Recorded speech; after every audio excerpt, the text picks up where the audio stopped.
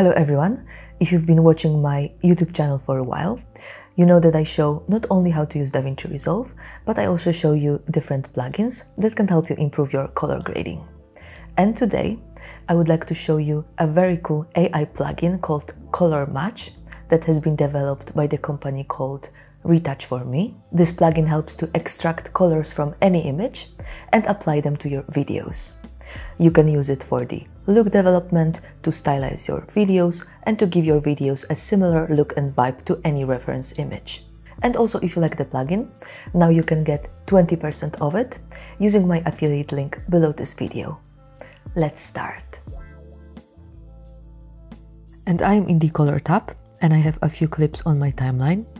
We will start from this one. And it's also worth to mention that the Color Match plugin can work with both Rec 709 and log files. So once you have purchased the plugin, you can just simply download it and install it on your computer, and then it should automatically appear in your Effects tab. And this clip is in log, as you can see. So let's find the hero frame to work on. I have also put the adjustment node before to be able to make some additional corrections to my clip after using the color match and I will simply grab the plugin from the Effects tab and I will drop it onto my second node. We do have a simple set of controls over here and the first thing we need to do is to pick a reference image we want to match our clip with. So let's select choose reference image and here in my stills folder I do have a few stills from the movies I like. I've simply downloaded them from the internet and for this clip let's maybe pick a still from Henry Sugar so let's just hit open and look at this. The result is pretty amazing. I do really have a lot of fun working with this plugin. And what I also like is that here we can preview our ungraded still and the reference clip and we can move it around. And what we can basically see is that the Color Match plugin has completely transformed our log clip, matching the colors, the contrast and the luminance with the reference still. But let me walk you through these controls over here. So first we can change the temperature and the tint if we want to improve it, like this. Then we have color match blend. Then smoothing. Then luminance and match color control that allows modify our effect further. And what I also like to do after I use my plugin, I like to adjust it further on the additional node. So let's go to the adjustment node and let's maybe increase the contrast a little bit. And let's tweak the pivot. Okay, so now my clip looks nice and sharp. And let's maybe try another reference still. So I will go back to my reference stills and I will pick this still from Oppenheimer. We have here quite nice and muted color palette. So let's hit open and look at this. We have completely changed the style of the grade. But what would I do here? I would go to the gain and I would decrease it to make my clip look more dense. Like this and maybe lift as well. Okay, so here in a few simple clicks, we are able to create two totally different looks. Now let's move to the second clip, as here I would like to stress that the color match will work best when our clip more or less matches the contrast and the luminance levels of our reference still.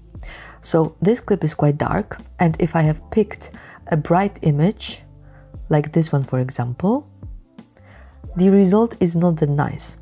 As colorists, we can do a lot of magic, but if we are dealing with two totally different setups and so on, it may not be possible to match the clips. So let me pick something darker, like this one, and it looks way better. But here I would also improve the lighting a bit, so I'll go back to the adjustments and I'll increase gain a touch then maybe lift. Then I would increase the contrast.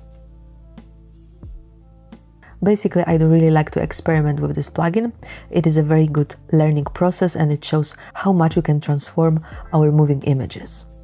But let's try another clip. And here I will apply the grade from another still from Oppenheimer.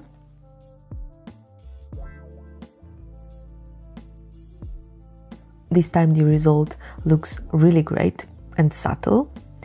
But there's one more great thing about the Color Match plugin, as it allows not only to match grades from reference clips, but it also gives an access to a broad LUTs library. So let's reset the color match over here. And then let's move to the LUT manager. And as you can see, here we already have a few different categories of LUTs and we can also purchase more LUTs in the LUT store. But let's open the grading edition folder and here we have all of these LUTs to choose from. Then maybe let's try the top 25 and let's pick something. This is a bit too much for my clip, but we can preview all of the other LUTs using the previous or the next buttons, like this. So we can find something suitable. This is quite nice. It gives a nice pastel teal and orange look. This is before and after. And then here we can also use the LUT blend slider to blend our LUT with the original clip and to make it look even more subtle.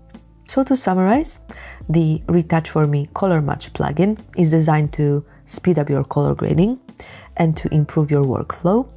And in my opinion, the plugin can be really suitable for someone who's got a huge workload and also, as I have mentioned, it is not only a color match plugin, it is also a LUT library. So if you like to try different LUTs, it might be something for you. And if you like the plugin, don't forget that you can get a 20% discount using my affiliate link below this video.